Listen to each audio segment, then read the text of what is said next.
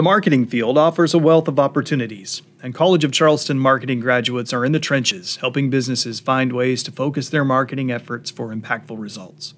Anytime that a decision maker spends money on marketing, whether it relates to the sales force, social media, advertising, distribution, or retailing, they must prove the impact on the bottom line of the organization.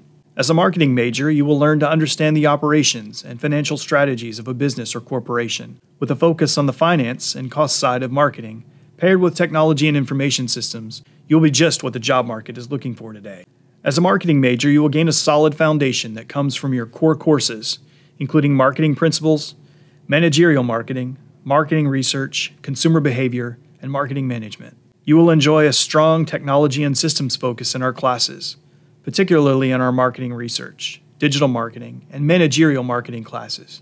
An additional emphasis of our program is that many of our courses are increasingly reflecting sustainable business practices. You will be able to choose from electives in several areas, including marketing and society, sports marketing, social media marketing, digital marketing, integrated marketing communications, advertising, sales, international, and more.